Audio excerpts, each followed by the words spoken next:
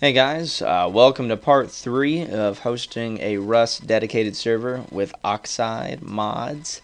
Um, if you haven't seen the previous two, I recommend going and checking those out so you can be up to speed with the rest of the class basically. Um, so get jumping right ahead to part 3 is installing or installing Rust modded server files and the plugins that go with them to make the game better. So, if you've already gotten your Rust uh, server set up in your folder, uh, the first thing you want to do is go ahead and choose which mods you want to use. Now, the mods that you can choose from as of right now are Oxide, Rust++, Plus which is Magma, Rust Essentials, and Fougerite, or Fougerite, I don't even know how to pronounce it. Uh, one of those two. Now, the most commonly used one is Oxide. It's just well accepted and well rounded with everything using LUA plugins. You know, it's awesome. It's great. It's what I use. Uh, Rust++ Plus Magma has officially been outdated and overwritten by Fougerite. Now, Fougerite basically uses Magma plus a few other things to make it work. Now, I've tried using Fougerite, I've tried using Rust++, and they both gave me tons and tons of problems. And not gonna lie, Oxide gave me a little bit of problems to start with, but eventually got that fixed thanks to the great community. So uh, to go to that community, you can actually go to the link provided to find them. It's rustoxide.com. I recommend making an account there. Um, also, you can check out their forums at the link at the bottom. Um, so once you go ahead and do that, I provided a link to download the Oxide server mods itself. So go ahead and click on that link um, and it's server 1.18. Now this was just released, and not much people, you know, independent people have this server mod. Uh, it was mainly provided out to GSPs as you know their specific exclusive files, so people can use their servers. But now that give, this is given to a lot of other people, you'll probably see a few other servers popping up here and there. Uh, but Oxide 1.18 is the latest, and most plugins on their website are already updated for it. So you're good to go there. So once you've downloaded it, you'll see it right here. Uh, what you need to do is go into it and go to where you see the Rust server data. You'll see that a couple of the folders line up are just Rust server data does. Select it all, copy, go in here and paste. It's going to ask you to overwrite. Say yes, yes, copy and replace. And bang. You have officially installed Oxide on your Rust server. Now, just because you've installed it doesn't mean it's going to work. And this is where I've had the most trouble with it um, and finally got help from the awesome community to help get it working again. So I'm going to show you what, what it looks like and you'll see the difference. Uh, once you load it up, your server again, um, go ahead and see it right here. See, it says Oxide, loading legacy, loading library, loading plugins. That's what it says, and this is the tricky part because that makes people think that it's loaded all of the it's loaded your modded server. Now it didn't. As you can see, it's just going to go through the standard procedure all the way till server initialized. Um, but that's what confused me for the longest time is I thought it was all working because I saw Oxide up here, but it's not. So once it's finished loading, uh, you can go into your server like normal, run around, and you're not going to be doing anything different. It's still a vanilla game. You have no mods, nothing installed, but you have the server set up for you. It's not working, but I'm about to show you how to make that work as well. Right, thanks to the awesome community on Rust Oxide's website, um, what happens was they created a bat file for us. Now, bat, short for batch, uh, they created a file that helps initialize a modded server. So what we saw is a vanilla server, even though this file's here, it wasn't called when the server was made. So to do that, what you're going to do is create a batch file. Now, you can start this off just in Notepad, or what I use is uh, I use Sublime Text. So load it up, load up this batch file in your favorite text editor. I'm going to use Sublime Text for visual purposes. And this is what it looks like. Now this is a bunch of, you know, basic code written, you know, for parameters and whatnot. So when you initialize this, instead of hitting right here, instead of doing Rust server from now on, you're actually going to be double clicking this batch file.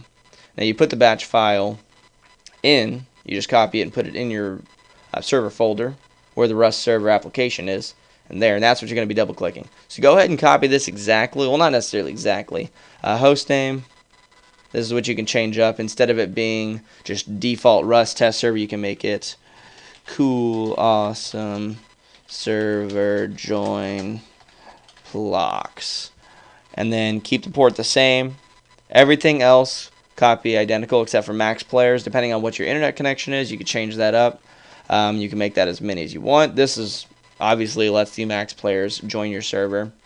And then this is directories um, that are very, very needed. So make sure, let's just, you copy this one exactly. And once you've gotten that all copied and whatnot, you can go ahead and save it and then write anything you want it to start with. You could just say oxide server dot bat. Make sure it's in all files and go ahead and hit save. Right now we put that in the desktop. Um, you can close it. It's right here. Um, so go ahead and cut it, paste it in here. So if done right, go ahead and double click it. It loads Oxide and the proper way and loads the directories and everything just how you're supposed to do it. And then bam, What's the best part about using this batch file is it doesn't actually load that extra Rust window, so it's actually make everything run a little bit faster. Server's initialized, and this is your official server that's ran. I'm going to go ahead and show you where the plugins go so you can actually have your mods. So go ahead and you can just close that at any time. It saves and closes. Now when you want to use plugins, I have a link at the bottom to download just a starter set of plugins for you that are awesome, and I just have it starter oxide plugins. They're uh, .lua files. So what you want to do is go ahead and put them in the save folder, Oxide, plugins, right where Oxide Core is. Go ahead and just copy them in there and paste.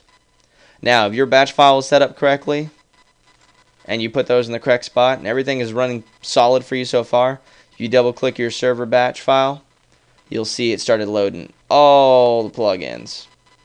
Again, all of these are customizable they're not set in stone, and the only way you could customize them is plop them in your plugins folder, load your server, and once you've loaded your server, over here and save Oxide, you'll see data, and then once you hit data, this is where all your stuff is. This is how you edit them. You just open them up, and then bang, they're right here. Now this looks a little bit, I don't know, intimidating to some people, I guess, but it's actually pretty simple once you look at it. Um, this is Oxmin, and then basically this is when you start the server. It lets you do the help and change all the stuff for a list of commands and things like that, like welcome, blah blah blah. You can say welcome to the server. The server is blank. You can customize that. You know, this server is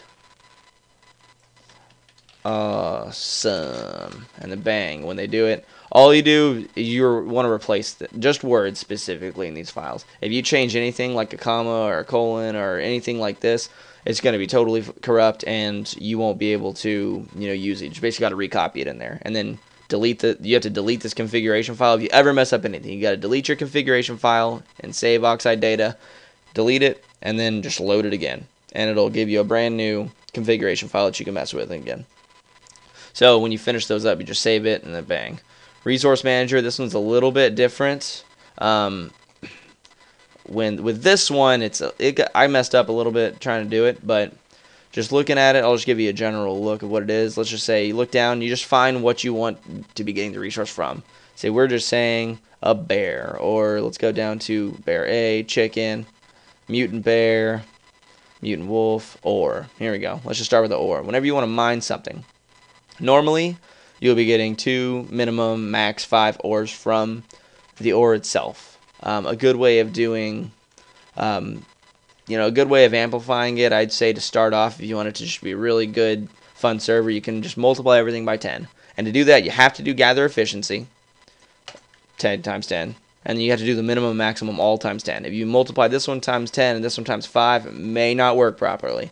So I just make sure you do everything by 10, easy by just adding zeros.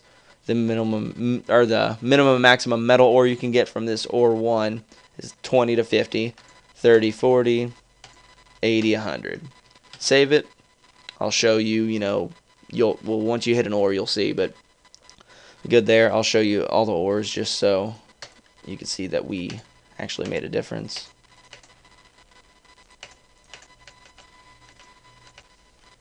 Bang. Save it. And then you're good to go. You can minimize it or close it. And once you've just edited those, go ahead and la launch your Oxide server. And once it's ready, see as you can tell, right when it finishes initializing, boom. Your server name is what it's going to show up here. How I named it, cool, awesome server, join, bang, and then you can see up here in a little bit of details max players is 50 and this is just a little bit of customization that you can do so far in that batch file. You can do a lot more customizing but I'm going to show you an easier way of doing it. I'm going to go ahead and show you uh, what the server looks like so far. Also another quick thing which I think you guys will appreciate um, is once you've done the console command and then did net connect um, usually which happened for me is it loaded up in the history if you go to history, your server should be there. And even though it's there on your history, other people still probably won't be able to see it until you do what we're going to show you in the later videos of how to allow you know, pop this up on the server. But you personally can double click it instead of doing net connect. You don't have to memorize that. You just double click and then bang, as you can see, connected. You're connected to your server, your cool, awesome server so far. All modded up, so just with a little bit we've had. And um, once it loads, I'll just show you a little bit of the things that we've been that we initialized. Boom, mods are working. Instead of getting one stone each hit, gives me a lot of things, ten times the amount actually. So, boom, makes crafting and everything a ton easier. Get a lot more things out of that. So we can tell that worked. So you know that all this works. So thanks for watching this video. Uh, what we're going to do is go ahead and, uh, what I'm going to do is go ahead and pop up the video to the previous video at the top left, the link to the next video at the top right, uh, subscribe button right down here the bottom half. Uh, if you haven't seen any of the other videos yet, you're probably lost, or unless you just wanted to skip this one, go ahead and but I recommend checking those out. The links are going to be in the description. Uh, links to all the files that you needed for this video are going to be in the description as well. Um, and again, thank you for watching. Subscribe, it really helps out. And tune in next time for the next part.